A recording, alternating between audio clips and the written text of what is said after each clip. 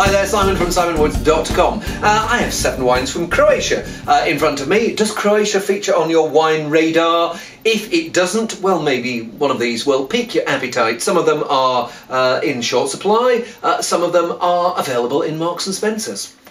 We'll start with Marks and Spencer's. First one I've got is Golden Valley Grasvina. Grasvina is a great variety, better known as Welschriesling or uh, Laski Riesling. Uh, so wine of Croatia, 2011, expertly selected for Marks and Spencer's, and it looks like oh no, I thought it was going to be a Vinolok. It's just a regular screw cap. Uh, let's just dig in and see where we get to the like slightly floral edge. There's a, a, a, musky herb edge. There's quite a bit of citrus. It's on that grapefruit and lemon side. Uh, smells like it's going to be fresh, young, appealing, and one of those drink before drinkers. And then as soon as the next vintage uh, arrives, move on to that. Zesty and fresh, little bit of smokiness. Um, unoaked, and then that aromatic, um, almost spicy edge comes through on the finish. Slightly gewürzy. Um, yeah, maybe Gewurz meets Riesling. It's got uh, it's got that uh, that slightly uh, uh, funky aromatic ginger and lychee bit of. Um, um, of Gewurz and some of the Riesling uh, citrus edges. Maybe not as fine a grape as either, but pretty attractive in that form. Let's try the next one, another Marks and Spencer's one. Pilato, uh, so Malvasia uh, Istarska. Malvasia is um, uh, one of their uh, their specialities of the region. So uh, the region, the country, uh, and so this is from the Istrian uh, Peninsula, uh, and again 2011 vintage. And it's not quite as sappy and zappy and citrusy as the first one, but it, what it seems to have got is like a broader, um, broader aroma. Things like peaches. There's a still a bit of floral character in there, a bit of nuttiness too. It tastes like it. Well, smells like it's going to be. I don't know. It's going to be. It's going to be fuller in alcohol. First one's twelve and a half percent. Um, second one is thirteen and a half percent. Yeah, so it smells like it's going to be a fleshier, uh, fuller-bodied, slightly nuttier. Uh, maybe not as out and out uh, fresh, but uh, hopefully still satisfying. Yeah, there's got a nice bit of peachy weight to it. Uh, reminds me of um, um, some southern French wines. Well, maybe maybe some uh, du Blanc, um, where it's got that. It's maybe not majoring on the um, fresh sappy fruit, but has got this. Um, the floral edges, bit of herbiness, uh, and this peachy weight, um, but still finishing quite nice and fresh. And um, I don't know. I drink the first one at lunchtime and the second one in the evening. I like them both. Next one, more conventional, and so first two were 2011 vintage. Next three, I think, are 2010. So this is Katunar, uh, there's the producer, and it's Chardonnay, 2010. I think this is from Istria, but um, I'll flash it up on the on the screen, and you'll be able to find out for yourself.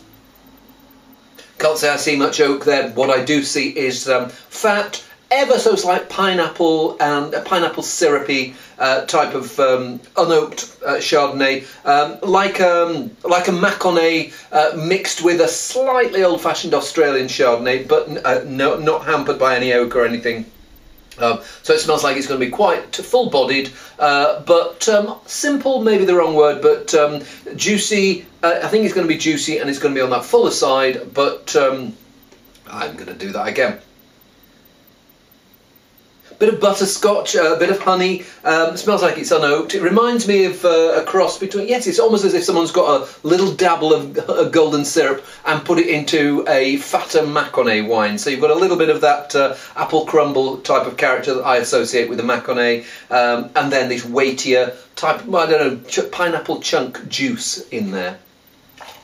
Bit of vanilla makes me think maybe there is some oak there, maybe, but um, uh, strawberry Mivvi lolly. There's um, I don't know when you, last time you had a strawberry Mivvi lolly. I don't know if they even make them anymore, but that mixture of the sweet red berry, that slightly confected red berry, confected here, not a pejorative term, um, and um, then this weighty fruit, vanilla, quite a fresh finish.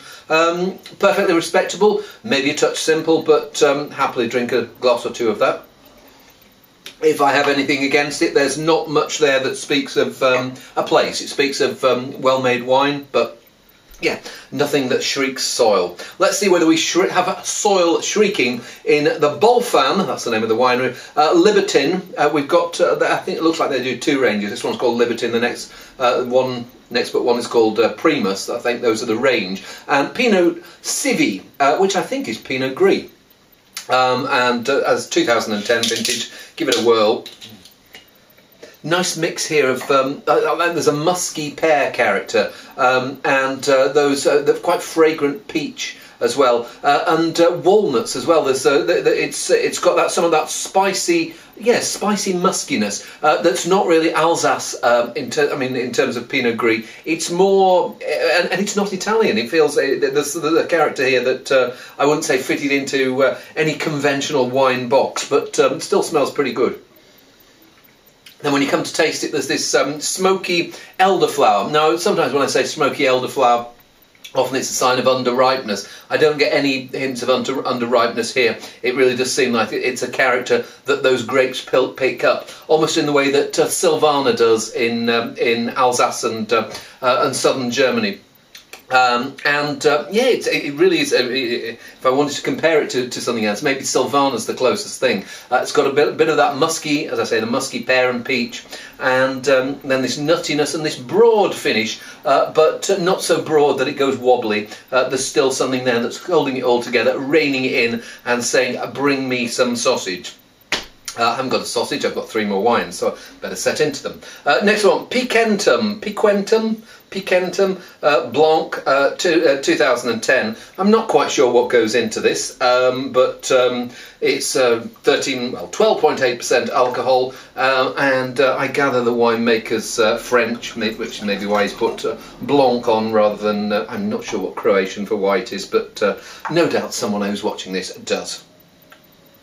Well, I stick my nose in and I get what I call uh, the vanilla fudge oak. Um, it smells like a quite broad, rich wine, um, and um, one of those where I almost feel the way in which it's been made is speaking a bit louder than the grapes were there in the first place. So yes, there's this warmth, there's a ripeness, um, but it's slightly uh, slightly overwhelmed at the moment by oak. It smells okay, and I, I mean, there, there, lots of people like that big fudgy oak, but um, for me, I like a little bit more freshness. But I may be wrong. Let's see.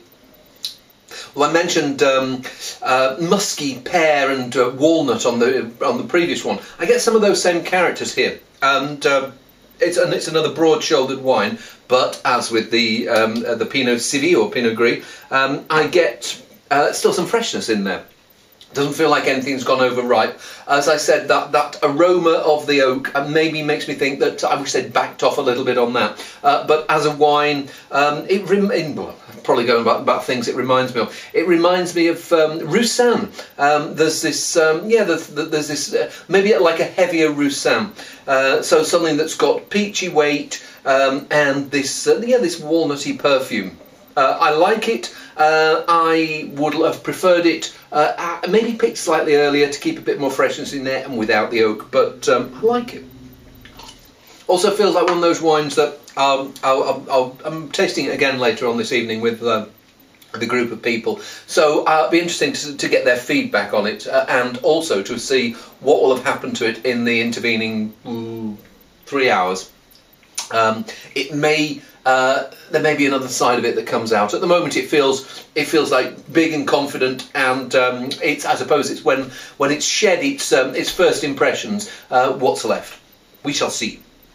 Oh yes, we shall. Uh, and we shall see whether the next wine is good. It's Bolfan Primus. I was talking about the, the Libertin before. Bolfan, uh, sorry, Bolfan uh, Primus uh, Rajnski Riesling. Uh, that's Riesling to you and me. Uh, Rhine Riesling, as, uh, as it's called. I might give my glass a little bit of rinse to get that weight out of the previous, out of my glass and uh, uh, but this is 2009 vintage, so we've, we've had a couple of 11s, uh, three 2010s, and we've got a 2009 Riesling here.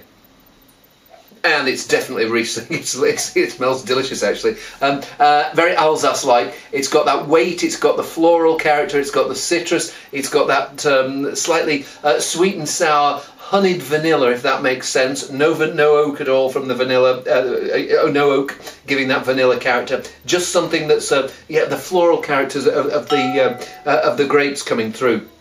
Uh, it smells like it's going to be quite weighty. Let's have a look at weight. 14%, yeah. Uh, but, um, and I'm not sure whether it's going to have a touch of sweetness or whether it's going to be bone dry. But it does smell like it's going to be a rich, broad shouldered, confident, and very tasty wine.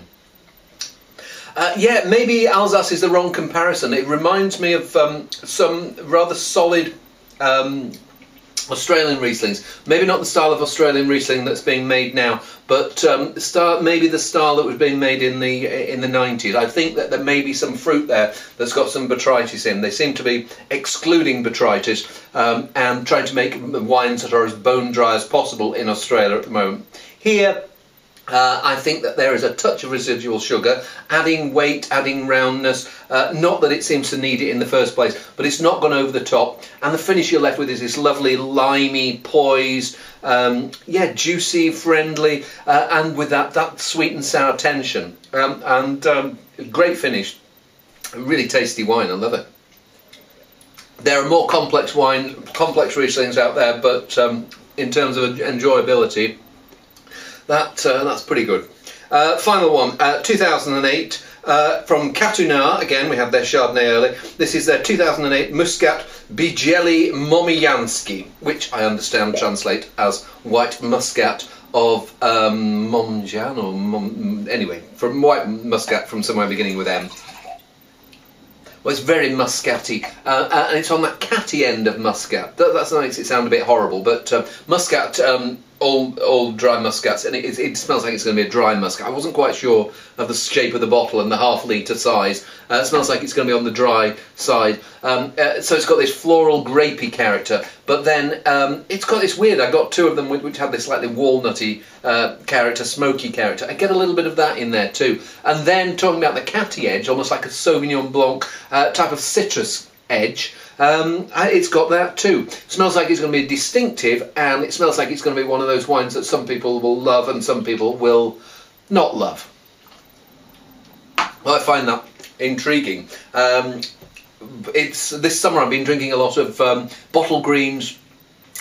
Now, what is it? Um, not elderflower. It's um, ginger and uh, lemongrass cordial. Uh, and I've said elderflower there because it's got it's got this ginger and lemongrass cordial, and they also do an elderflower cordial. It's almost like someone combined the two. So it's got this uh, floral edge, it's got this gingery edge with the um, uh, with the slightly citrusy, the, the, lemongrass coming through. It's got a smokiness. I was picking up smokiness, as I said, in uh, um, wines four and five and um, and then the finish I'm left with. Uh, it is uh, it's not it's not bone dry. I'm not sure how much sugar there is there, but uh, it's it's like 12% alcohol, and there's something about the finish that uh, that, that, that, makes me think that there, there, there, might be a bit more sugar than if I if I put my head out head on the block and said it has got this much sugar. Uh, oh, I'll do it. I, I, think it's got about like 15 grams of sugar, something like that. I don't know.